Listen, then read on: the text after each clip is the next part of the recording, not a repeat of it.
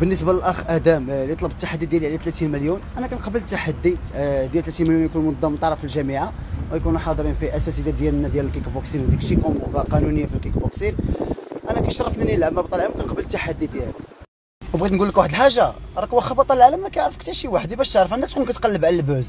وكون راجل وبين لي في ال combat ماشي تبقى خالقة. ال combat من هنا شهر ماشي من هنا سبع شهور. من هنا شهر ياك أنت بطل العالم.